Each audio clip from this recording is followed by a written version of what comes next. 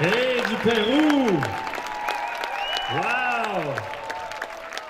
Un don et la sangre sous la direction de Martin Carrillo.